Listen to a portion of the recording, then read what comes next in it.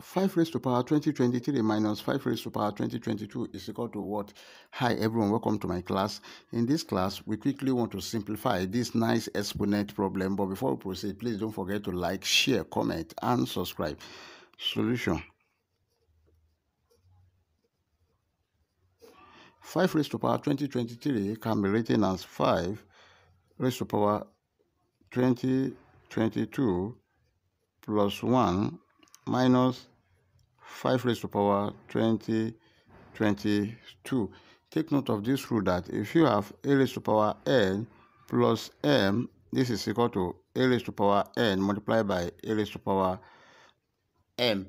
Then this is equal to 5 raised to power 20 22 multiplied by 5 raised to power 1 minus 5 raised to power 2022 and this is equal to 5 raised to power 2022 is common. Let's bring it out.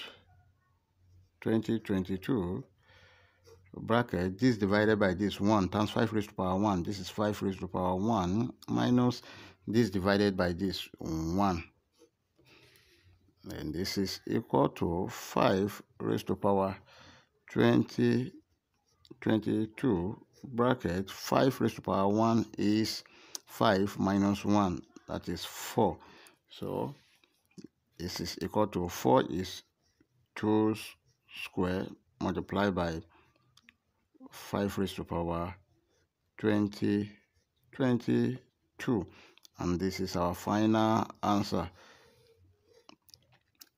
If you enjoyed the class please don't forget to like share comment and subscribe Thank you.